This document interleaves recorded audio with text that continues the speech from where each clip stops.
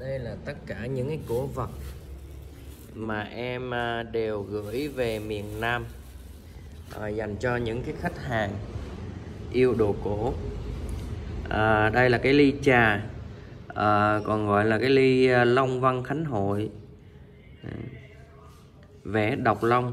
Cái này là cái nói chuẩn hơn là cái ly để uống rượu ngày xưa là các uh, quan đại thần lớn ở trong triều người ta hay dùng ly nhỏ như thế này là uống sâm hoặc là uống rượu mà theo kiểu là uống để là để thưởng thức thôi chứ không phải là uống theo kiểu bây giờ uống no uống say. Đấy, đây là cái thú chơi xa xỉ bậc nhất của các uh, quan mà có chức vị lớn ở trong triều.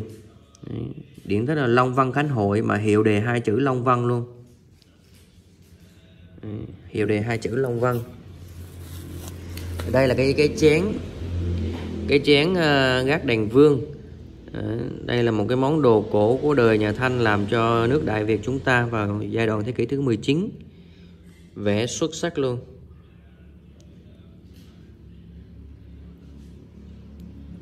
Nước men khỏe đẹp. Hiệu đề hai chữ ngoại ngọc. Đây là gác đèn vương đấy nó có từ thời nhà đường. Thì qua mấy trăm năm thì nó được uh, uh, những cái ờ, nhà sử học người ta uh, lưu lưu dấu ấn vào trong những cái uh, gốm sứ này hoặc tranh ảnh vân vân.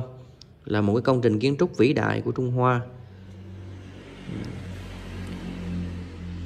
Đây là những của những người Anh à, là một khách hàng rất là quen thuộc của em. Mua rất là nhiều.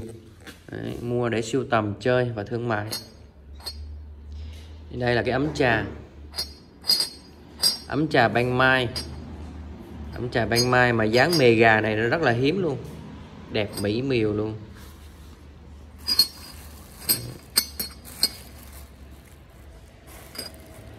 Đây là cái à, hộp trà. Cái hộp đựng trà vẽ tích tô vũ chân dê. Vẽ tích tô vũ chân dê. Một trong những cái điển tích mà được ờ, nhiều người yêu thích và săn lùng. Nguyên một cái dòng bài thơ này này phải nói nhìn thôi đã mê rồi. Cái cái cái cái cái nét uh, vẽ đây là à, nét vẽ ờ, của những cái họa pháp mà người xưa người ta dùng gọi là lông chuột hay là lông thỏ. Những cái lông chuột lông thỏ thì nó mềm mại mà nó nhỏ nhỏ như sợi tóc như vậy thì mới để vẽ lên những cái cái cái nét như thế này.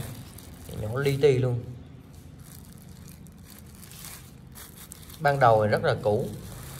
Nó dơ lắm. Sau này em tẩy rửa bằng chanh. Nó, nó nhìn nó đỡ hơn nhiều.